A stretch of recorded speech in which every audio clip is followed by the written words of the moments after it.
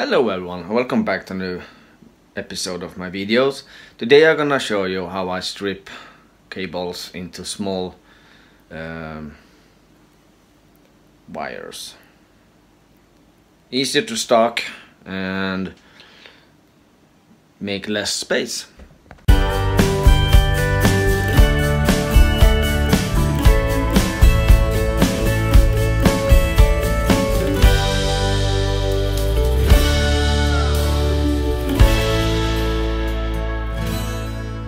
Let's do it again.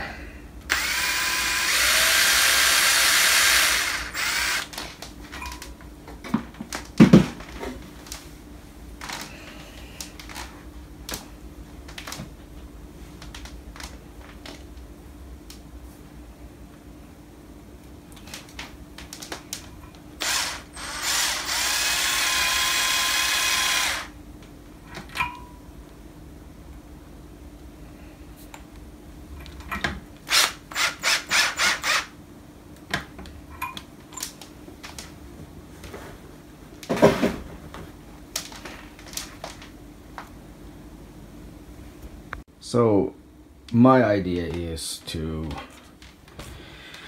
take a hook, put it on your vise or in the table if you don't have a vise or something. Put the cable on that and you take another hook on your drill and just twist the cables and the wires into small compact pieces instead for roll it or squeeze them to balls make some bigger space and you get the same amount of weight but that is more tightened and you have easier to to stock it. Seven.